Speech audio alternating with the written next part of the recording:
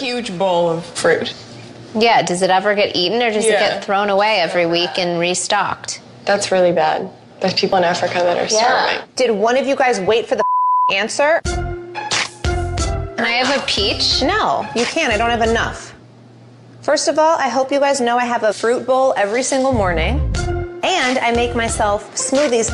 And do you know how many trees I've planted so I could have a lot of those fruits? You have mango and peach trees outside. Up about my fruit bowl.